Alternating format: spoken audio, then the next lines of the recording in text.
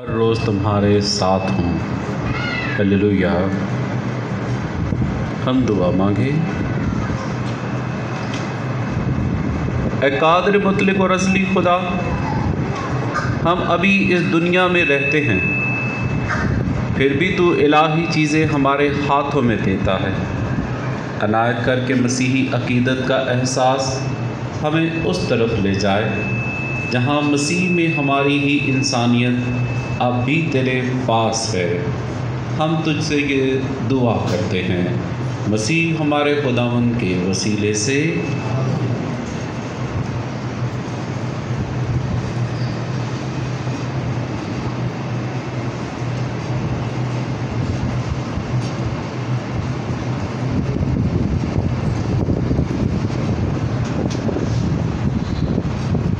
मसीह खुदा मेरे सो। आने वाले हफ़्ते में मतलब मंगल से हम अपने पैरिश के मुख्तलिफ़ इलाकों में मुकसा मरीम की शान अकदस में ज़्यारती इबादती प्रोग्राम का इनका कर रहे हैं। और इस सिलसिले में पहली इबादत तेईस मई मई को होगी, रोज़ मंगल कमेटी लाइन में, जिसमें कमेटी लाइन बिजली घर और ईदगाह के ममनिन शिरकत करेंगे। दूसरे ममनिन भी शिरकत करना चाहें तो उनको भी दावत है। तो इबादत का वक्त शाम पाँच बजे का है। पच्चीस की इबादत रोज़ जुमेरात गाज़ी बरोथा में होगी। छब्बीस रोज़ जुमा संजवाल फैक्ट्री में मकसा मरीम के हजूर ये इबादती प्रोग्राम होगा। सताईस मई को रोज़ हफ़्ता अवाशी में मकसा मरीम की ताजपोशी की इबादत होगी।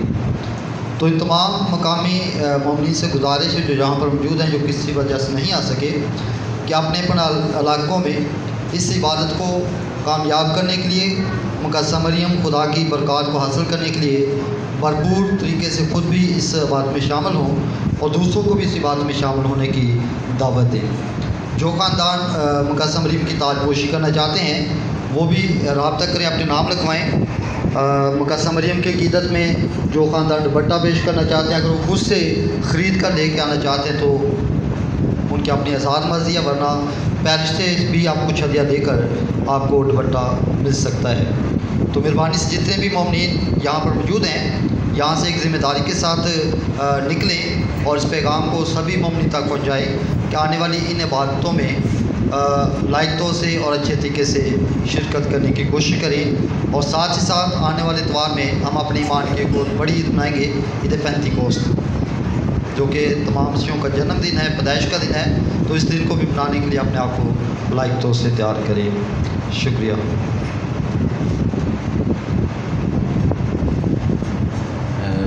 अज़ीज़ ममनी इस ईद को ना ख़ानदानी तौर पे मनाया जाता है। मुकदसा मरियम की मुलाकात अलस्बात के साथ। तो इस तौर पर करीबी करीबी जो भी ख़ानदान होंगे चाहे वो गाज़ी बरोठा में है, संजवाल में है, कमेटी लाइन में है, आवाम शरीफ में है कोशिश करें, हमने वक्त भी वही रखा है कि जब शाम में सभी लोग बसानी आबादत में शामिल हो सकते हैं। इन आबादतों को यहाँ मेन में, मेन की नस्बत वहाँ पे करीब आपके इलाकों में करने का जो ख़ास वजह है कि बहुत दफ़ा ऐसा होता है कि हर एक शख्स वो अतवार के अलावा यहाँ पर आना मुश्किल है, ठीक है ना? तो फिर अतवार के अलावा जब वो आपके घरों के नज़दीक होगा ना तो आपका शाम में वहाँ पर शामिल होना वो आसान है, ठीक है? आप वो वहाँ पे। और खसूसी तौर पर जब इन ईदों में शामिल होंगे ना, आप बच्चों को ज़रूर लेकर आएँ। ये सारी चीज़ें जब खुद अपने सामने होते हुए देखेंगे और बहुत सारी चीज़ें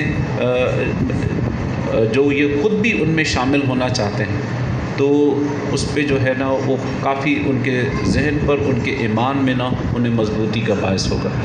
मैं आपको एक चीज़ बता देता हूँ कि हम यहाँ पे हमारे लिए एक आ, आ, क्या है कि स्कूल नहीं है हमारे तो इन ईदों को इस तौर पर भी आपके घर के नज़दीक मनाने का ख़ास मकसद यही है कि ये जब वो बच्चे उन चीज़ों को शामिल होंगे ना तो जो चीज़ें इन्होंने सीखनी हैं इन चीज़ों में शामिल होकर वो आप देखिएगा संडे स्कूल से या कैटिकिज़म स्कूल से कहीं ग्रां कदर जो है ज़्यादा सीख सकते हैं।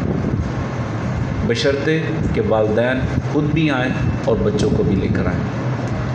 आपको ये ज़रूर है कि हम सब की कोशिश यही होगी।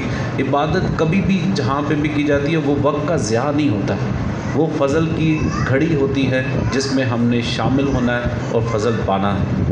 तो जब सारे उसमें शामिल होंगे तो फिर बहुत सारी बरकत जो है हम सब हासिल करेंगे। तो आइंदा दिनों में ज़रूर शामिल होएगा, ठीक है?